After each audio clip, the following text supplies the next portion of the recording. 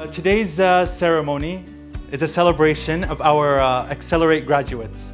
We have engineers, mashallah, and we have uh, some of our graduates here that have gone through and completed the Excellerate program. So let's give you a round of applause.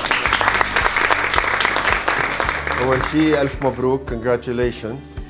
Though this program was invested in your professional development to enable more robust career progression within your company. And this uh, program has helped us through our engineering journey and our management skills, interpersonal skills, and leadership skills. Excellerate program enabled us to perform our job more efficiently, become good leaders, and develop our soft and technical skills. message from the trainers to Nesma and Partners uh, Management.